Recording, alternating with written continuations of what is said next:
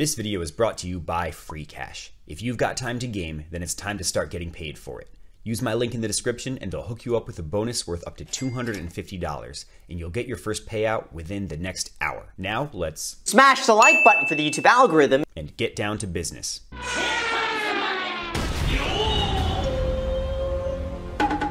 We have a problem with housing in the United States that not enough people are talking about because it means talking trash about very powerful people.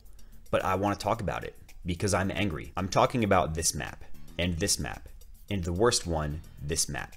These maps are just a few of the cities in which large corporations are gobbling up residential real estate and depriving aspiring homeowners of achieving their American dream. There are zip codes out there in which more than 50% of homes are being purchased by investors explicitly with the goal of turning the single family house into a rental unit. We don't have enough construction of new homes as it is, and we can talk about the reasons for that another time. But this massive influx of corporate buyers coming in with deep pockets and cheap credit they're screwing everything else up for the rest of us, and we're all just letting it happen. Not only do our tax and legal systems allow this behavior, but they actively encourage it. For corporations who can beat out regular buyers in the real estate game, this is a really, really good hustle. Before I go any further, I want to say that I don't have any fundamental problem with landlords.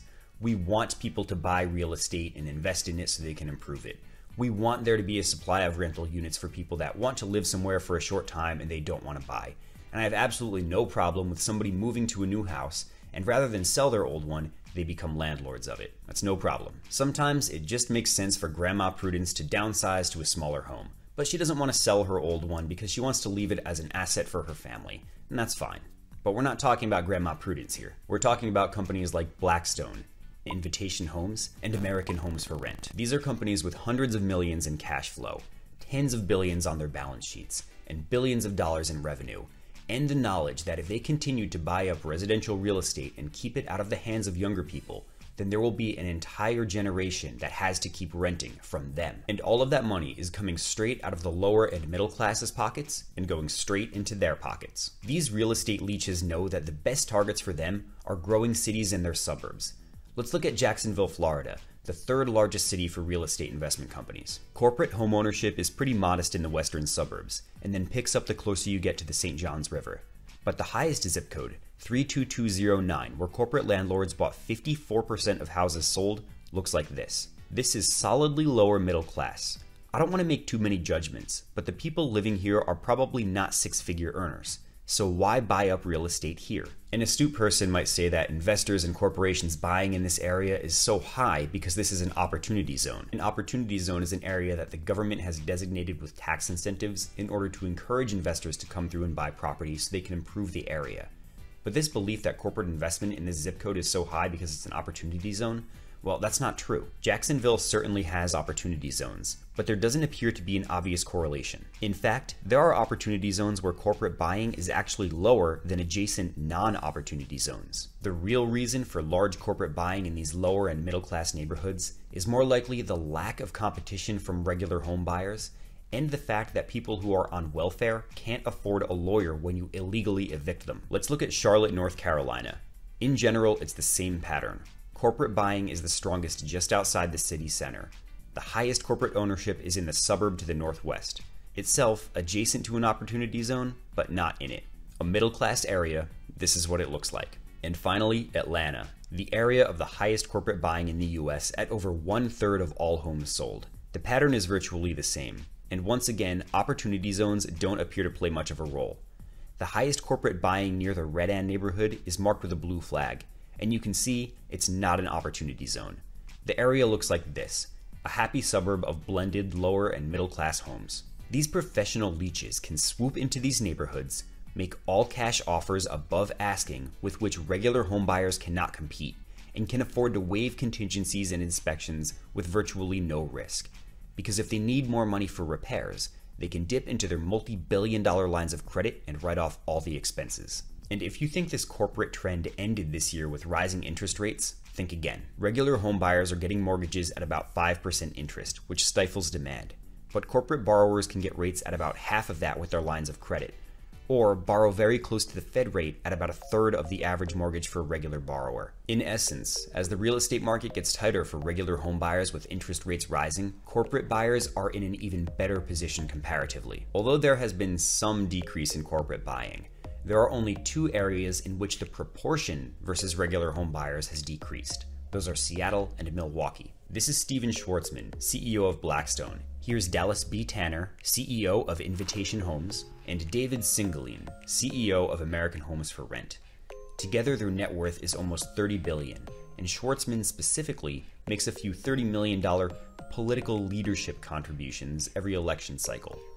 People like this are the ones who want to own your home, and in this next real estate winter, they will leverage their ability to borrow money at 1.7% interest to make a much larger offer on a house than you can at 6% interest. They'll try to present themselves as benefactors who make pleasant living conditions for their tenants. But read the UN Human Rights Council's letter to Mr. Schwarzman about Blackstone and Invitation Homes, and you'll discover a culture of threats and draconian punishments against tenants that are requesting minor routine maintenance. And when Blackstone is buying up houses in lower class neighborhoods, their tenants aren't in a position to bring a legal challenge against their landlord's army of corporate lawyers. And then I see these corporate landlords saying that they're just a fraction of all home buying that most homes are still being purchased by people who intend to live there. While it is true that most houses are still being purchased by common folk like you and me, most is a really low bar. You're going to tell me that because only 45% of homes in zip code 30331 are being bought by investors,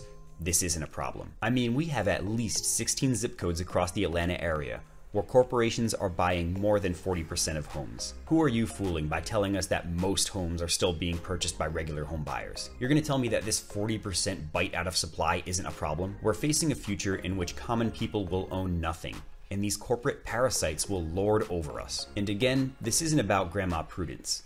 When Grandma Prudence dies, and she might die soon, then her heirs are going to inherit the house and they'll probably sell it. That home will then re enter the supply of houses. But Blackstone is not going to die, and it can afford to ride out a recession. So when Blackstone gets its hands on a house, there's really very little reason for them to ever sell it. I don't have all the answers, but something has to be done to stem this trend. In my opinion, one of the biggest misses in US law is that we've allowed these real estate corporations to buy up entire riverfront neighborhoods and turn them into Airbnb rentals, or buy a bunch of lower class neighborhoods and turn them into fiefdoms. Perhaps the first step would be to find some means of preventing these real estate companies from borrowing money at rates at less than half of what common people can. It's bad enough that Blackstone can offer $70,000 more for a house than we can.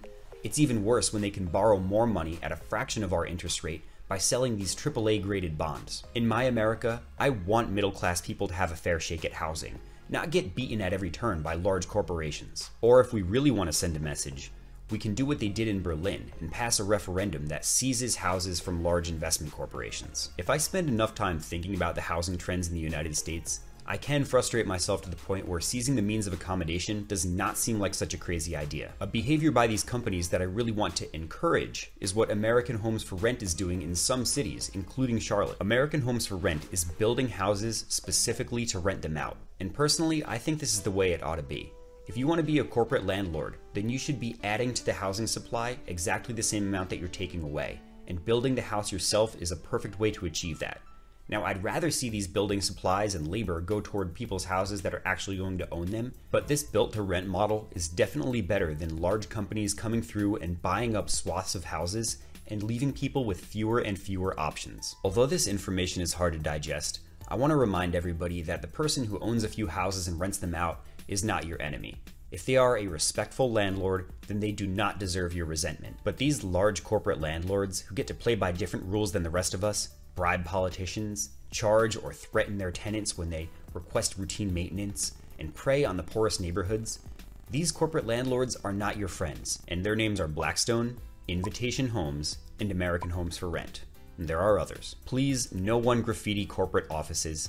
This is not about starting the American Great Leap Forward. All I want to do is share my observations of this very serious problem and explain how urgently we need to solve this before these real estate leeches gobble up another 30% of houses during the next real estate recession, which we are already in. Thanks for watching, everyone. Join our free Discord, smash that like button, and subscribe for more. I'll see you next time.